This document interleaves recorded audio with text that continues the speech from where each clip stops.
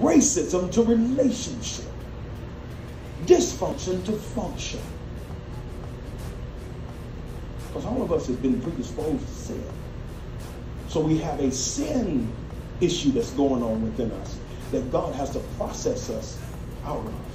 So he uses these voices. So Satan knows that, you know it, and oftentimes it becomes confusion in the mind and life of a believer. How do people mess with us?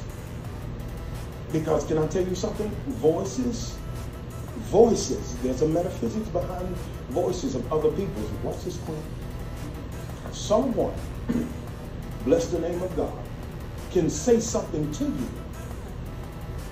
And hear how it works. A voice is a thought. The words are vehicles of a thought. It's like my mind gets in the car in my mouth and drives in your direction. So when that hits me and I conceive, perceive what you're trying to say to me, no longer my thoughts, my thoughts now. My thoughts become yours. You call that manipulation. Now I'm living in the shadows of your opinion and approval of me. And you ain't even around.